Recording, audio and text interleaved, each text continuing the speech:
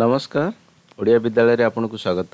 ଆସନ୍ତୁ ଜାଣିବା ଆଜି ଗୁରୁବାର ସକାଳର ସମସ୍ତ ନ୍ୟୁଜ୍ ହେଡ଼ଲାଇନ୍ସ ବିଧାନସଭାରେ ଉପସ୍ଥାପିତ ହୋଇଛି ଚାରି ମାସ ପାଇଁ କାମଚଳା ବଜେଟ୍ ଆସନ୍ତା ଆର୍ଥିକ ବଜେଟ୍ ଓଡ଼ିଶାରେ ଅଭିବୃଦ୍ଧି ନଅରୁ ନଅ ଦଶମିକ ପାଞ୍ଚ ପ୍ରତିଶତ ରହିବ। ଗଣସଂଖ୍ୟା ବିଭାଗର ସୂଚନା ଏପ୍ରିଲ ଦୁଇରୁ ସକାଳୁ ସ୍କୁଲ ଯିବେ ଛାତ୍ରଛାତ୍ରୀ।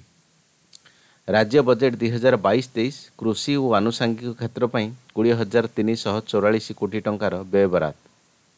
ରାଜ୍ୟ ବଜେଟ୍ ଦୁଇ ହଜାର ଏକୋଇଶ ବାଇଶ ଦିଶାହୀନ ଗତିହୀନ ଏବଂ ଅନ୍ତଃସାର ଶୂନ୍ୟ ବଜେଟ୍ କହିଲେ ସମୀର ମହାନ୍ତି।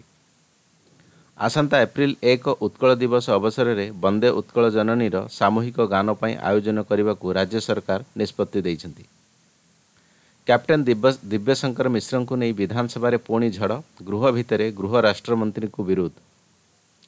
ଝାରସୁଗୁଡ଼ା ରାଜନୀତି ଏଥର ନବ କିଶୋର ଫାଇଟ୍ ନୁହେଁ ଅଳକା ଦୀପାଳି ଲଢ଼େଇ ହେବ। ବେଲପଡ଼ା ଲୋକନାଥ ବିଶ୍ୱାଳଙ୍କୁ ଗୁଳି କରି ହତ୍ୟା ମାମଲାରେ ଦୁଇ ଗିରଫ ଦୁଇଟି ମାଉଜର ଚାରୋଟି ଜୀବନ୍ତ ଗୁଳି ଓ ଗୋଟିଏ ବାଇକ୍ ଜବତ। ଆସନ୍ତା ଏକରୁ ତିନି ଦିନିଆ ରାଜ୍ୟସ୍ତରୀୟ କବାଡ଼ି ଚାମ୍ପିଅନସିପ୍ ଓଡ଼ିଶା। କେନ୍ଦ୍ରୀୟ କର୍ମଚାରୀଙ୍କ ପାଇଁ ଖୁସି ଖବର ତିନି ପ୍ରତିଶତ ବଢ଼ିଲା ମହଙ୍ଗା ଭତ୍ତା। ଭାରତର ସ୍ୱଦେଶୀ ଫୋର୍ ଜି ମୋବାଇଲ ନେଟୱାର୍କ ଖୁବ୍ ଶୀଘ୍ର ଆରମ୍ଭ ହେବ ଅଶ୍ୱିନୀ ବୈଷ୍ଣବ।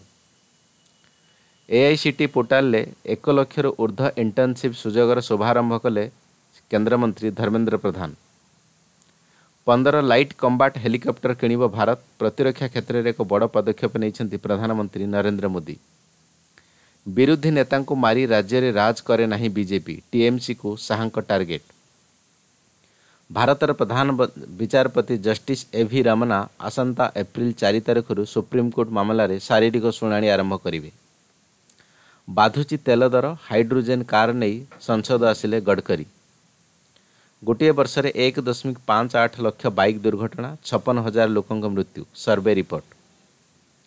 ମୋ ମୃତ୍ୟୁ ମୋତେ ନିର୍ଦ୍ଦୋଷ ସାବ୍ୟସ୍ତ କରିବ ଏମିତି ଲେଖି ଜୀବନ ହାରିଦେଲେ ଜଣେ ମହିଳା ଡାକ୍ତର।